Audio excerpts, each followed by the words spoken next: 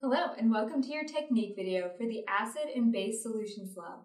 Let's start with the safety information. You must have your goggles on whenever chemicals are out. If small amounts of any of the chemicals come in contact with your skin, you should flush the area with water. Alert your TA if there are any large spills.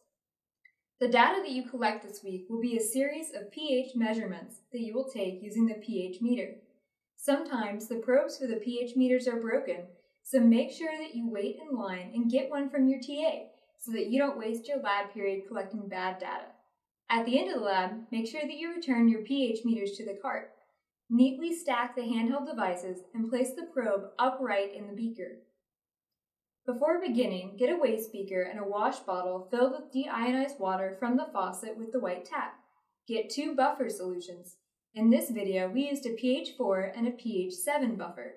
If your pH meter does not have a stylus, you can use a mechanical pencil that has the lead fully retracted.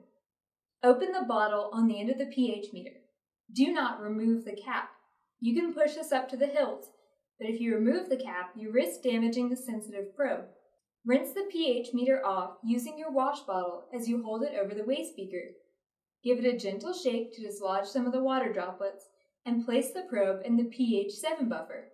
Then look at the pH meter. Select Sensors to open the drop-down menu, then select Calibrate. Then click the box that pops up to the side. A new screen will appear. Select Calibrate Now. You will wait for the voltage at the top to stabilize, then enter the pH of the buffer into the meter. Press Keep.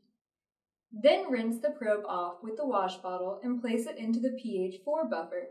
Once the voltage stabilizes, enter 4.0 into the space and select Keep, then press OK.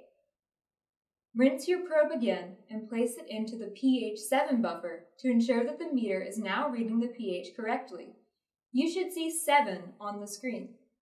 You are now ready to begin taking your pH measurements. Rinse your pH meter between each solution. During exercise 1, you will be collecting pH measurements for a series of common household solutions, such as orange juice or ammonia. Before beginning, you should make a chart with columns for the name of the substance, the concentration, if given, and the pH that you collect. When you go to collect your solutions, you should not take very much. You only need enough to cover the bottom of the pH probe. You can also share your solutions with others at your lab bench. That means fewer dishes for you and less waste for us. Be careful to protect the pH probe from tipping the beaker over by either clamping the probe or always holding it. In exercise 2, we will prepare a series of dilutions of both a strong acid, hydrochloric acid, and a weak acid, acetic acid. Each stock solution is 0.200 molar. You will need to use the serial dilution technique that you recently did during the kinetics lab to make at least four dilutions of both the hydrochloric acid and the acetic acid.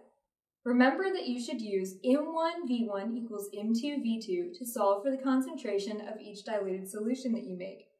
We will measure the pH of each of the new solutions and use that to prepare a graph of pH versus concentration that shows both how pH changes as a solution is diluted as well as the difference in pH between a strong and weak acid. Finally, during exercise 3, you will make a buffer solution.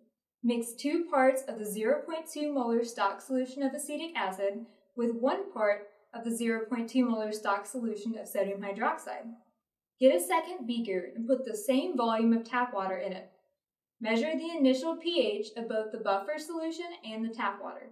Add 10 milliliters of 0.2 molar hydrochloric acid to the tap water and record the new pH.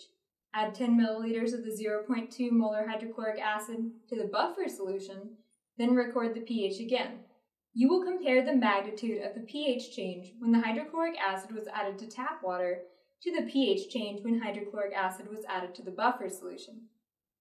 At the end of the lab, all of these solutions can be disposed of by pouring them down the sink. Thank you for watching this video, and I'll see you next week.